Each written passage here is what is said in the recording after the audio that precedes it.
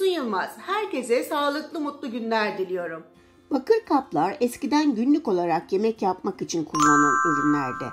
Son zamanlarda ise hem mutfak malzemesi hem de dekoratif amaçlı çokça tercih edilmeye başlandı.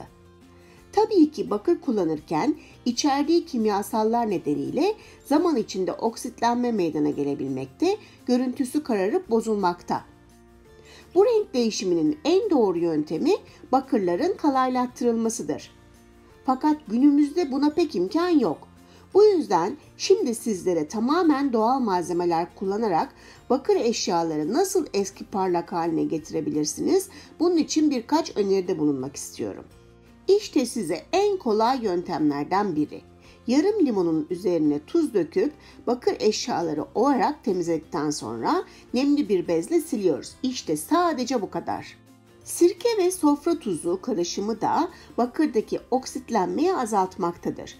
Bu yüzden bir kapta sirke ve tuzu karıştırarak bakırın üzerine dökün, kirleri ve kararmaları gidene kadar süngerle bakırı ovalayın. Daha sonra suyun altında durulayıp bir bezle kurulayın.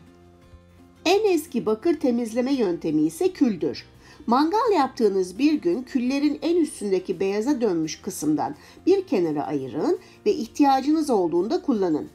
Bir parça sünger ile külleri bakır malzemenizin üzerine sürüp ovun ve hafif nemli bir bezle silip temizleyin.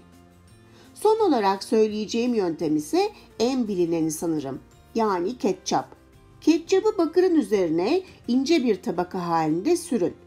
Birkaç dakika bu şekilde bekletin. Ardından süngerle ovalayıp ılık suyla durulayın. Evet bugünlük de bu kadar. Başka bir ya bunları biliyor musunuz videosunda buluşmak dileğiyle. Hoş kalın, hoşça kalın ve kanalıma abone olmayı unutmayın.